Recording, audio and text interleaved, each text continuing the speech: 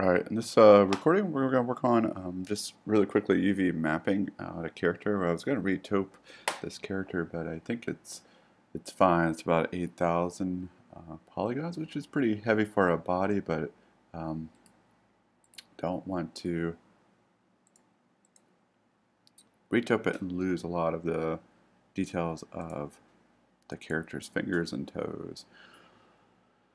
So we go ahead and bring it in hit shift to hold it, uh, constrain it into an upright position. Go ahead and hit edit and uh, change my skin tone so it's not so uh, dark on the screen. I'm going to go ahead and turn everything off. Uh, I've already shown uh, how to get the, the pants, and I think it's where the pants are really heavy. This is like uh, almost 2 million. I showed you how to go to a lower division and make a normal map for that. Uh, turn everything off, just the body. Go up to the body, and I, I, I was about to retope this really quickly, um, but I noticed it was only 8,953 polys. Um, kind of heavy, but uh, really not worth going in and retoping. I'm really afraid to lose the details of the ears and eyes, and uh, we've done this before. Um, we lost a lot uh, with the fingers and the toes. So let's just go ahead excuse me, and keep it like this. Um, really quickly, we're just going to uh, UV master it. Uh, UV master. And we'll hit unwrap. It should go pretty quickly. Okay, and then we're not going to create like a normal map like we did with the uh, leggings and so forth. And we're going to go into uh, poly paint or texture map, I'm sorry, uh, texture map, we hit create, open this up, and we hit uh, create from poly paint. So you've already done all the painting and so forth, that's fantastic. And we're going to go ahead and clone this, and you can see it goes, it pops up here, and we're going to go to texture. And we're going to flip it uh, upside down because uh, for Maya it, it'll need it flipped. Go ahead and export this out and I'm going to go ahead and call it uh, mouse. And we're going to make it as a JPEG. Hit save. Okay. Hit OK. Alright and then we also want to save this out uh, as a Maya file. So we're going to go save as desktop uh, instead of ZTool we're actually not going to do that. We're going to export, I'm sorry. Export instead of a Maya. Uh, OBJ, we're going to do a Maya because sometimes when we do an object file, it kind of splinters it. So we're going to go uh, mouse 4, MA, hit save.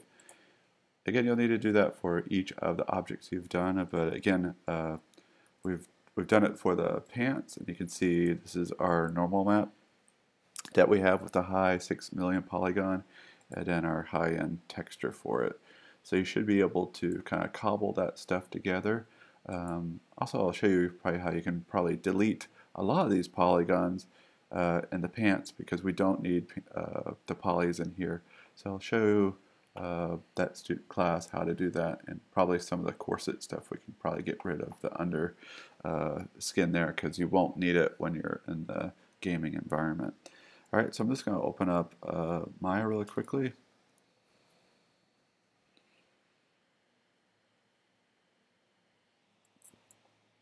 Okay, and I've, I've shown everyone uh, some tutorials on Mixamo, so you'll hopefully today you'll be able to get this all running and working.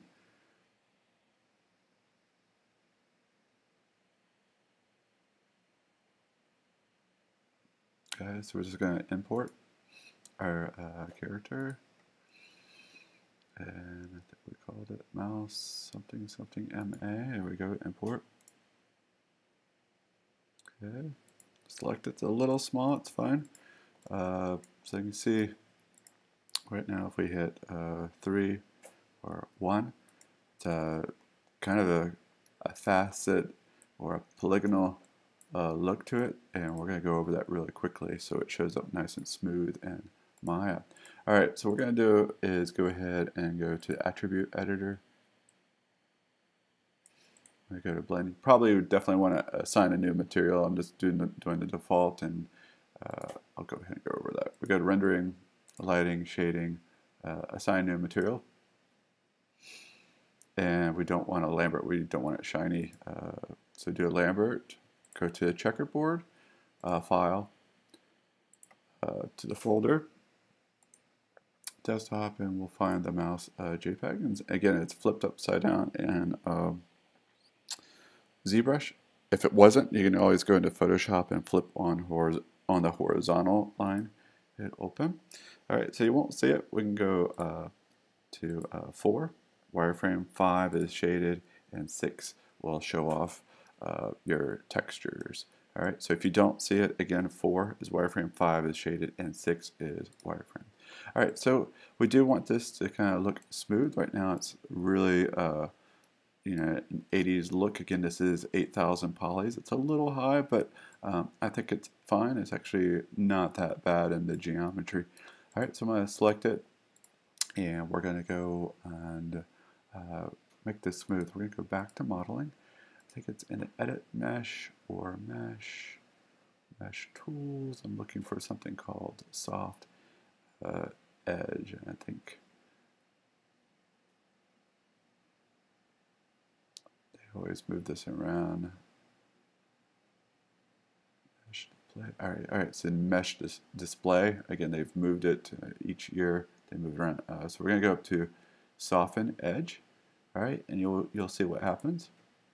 Okay, so I click off of it, and you can see uh, what it looked like before. It was very polygonal, and with soften edge, and when you save this, this will uh, translate over into uh, Unreal.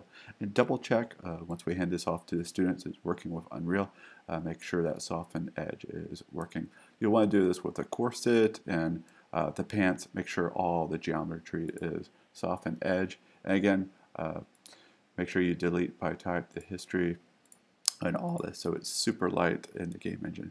But I think 8,000 is a lot, but again, I think it's going to work well uh, with an Unreal uh, game engine.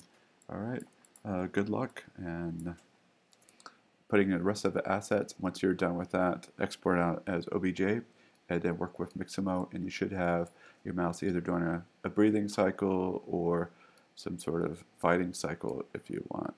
All right, good luck again.